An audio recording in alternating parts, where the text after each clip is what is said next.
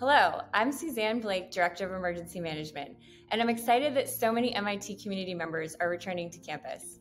To make sure that our campus community remains safe and healthy, and to make the transition to on campus work go a bit more smoothly, here are some key tips to keep in mind. Starting in March 2020, MIT implemented protocols to keep everyone on campus during the pandemic safe and healthy. Though many protocols have been rolled back, a few remain in place. Whether you are going back to campus for the first time or you have been on campus regularly during the pandemic, all employees need to follow simple protocols to make navigating campus easier and to protect the MIT community from the COVID 19 virus and its variants.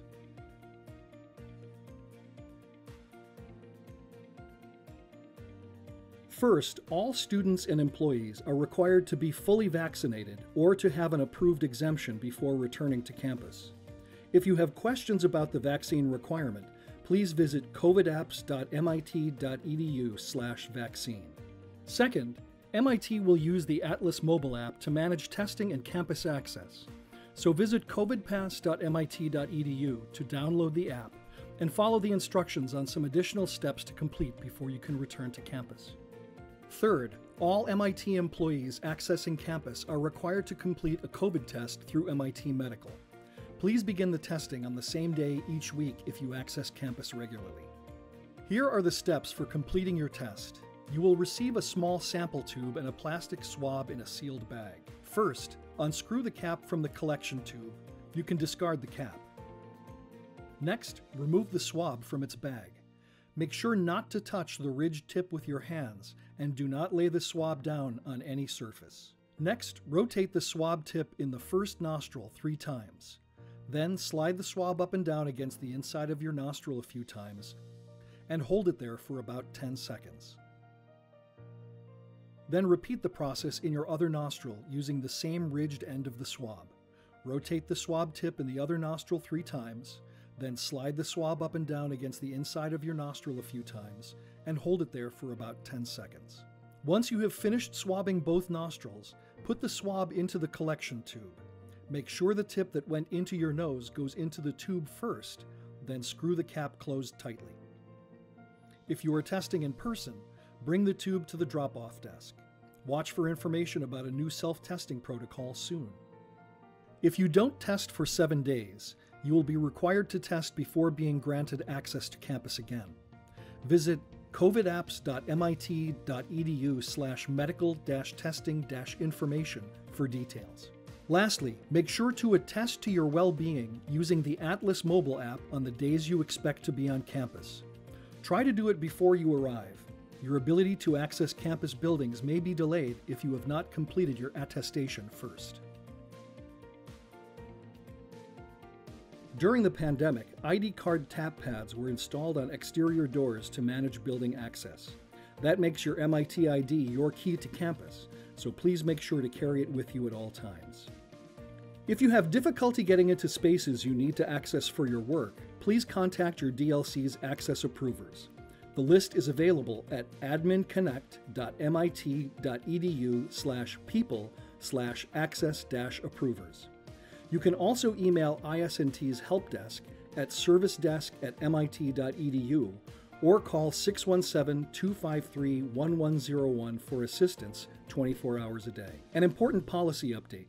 COVID related occupancy limits for most on campus spaces have been lifted, but your DLC may restrict occupancy in certain spaces based on your work. Check with your supervisor about restrictions specific to your DLC. Keep in mind that fire code occupancy limits are still in effect. If you do the following, you should have no problems accessing campus. Download the Atlas mobile app. Test on the same day each week if you come to campus weekly, or as soon as you arrive on campus if you come to campus less often a test every day you plan on coming to campus, and follow all COVID Pass instructions. For more information on campus access, visit now.mit.edu/policies.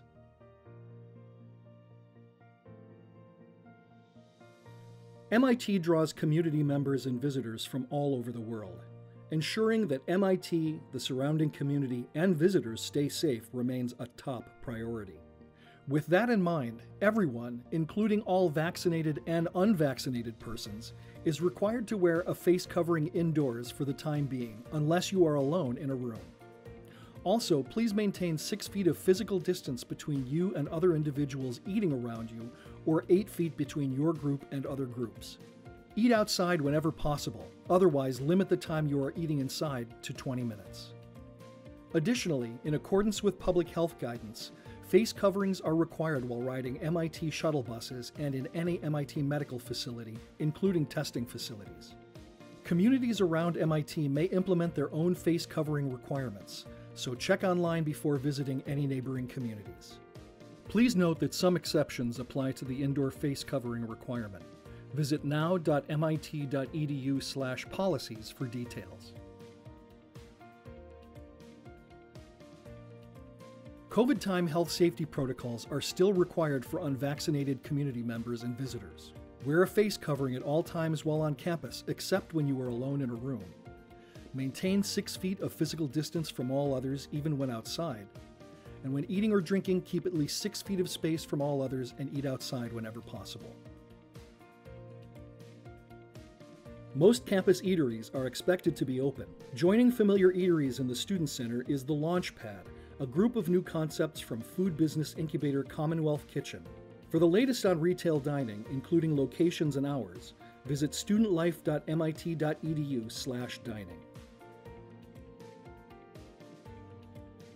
Conditions are evolving constantly, and COVID policies can change quickly.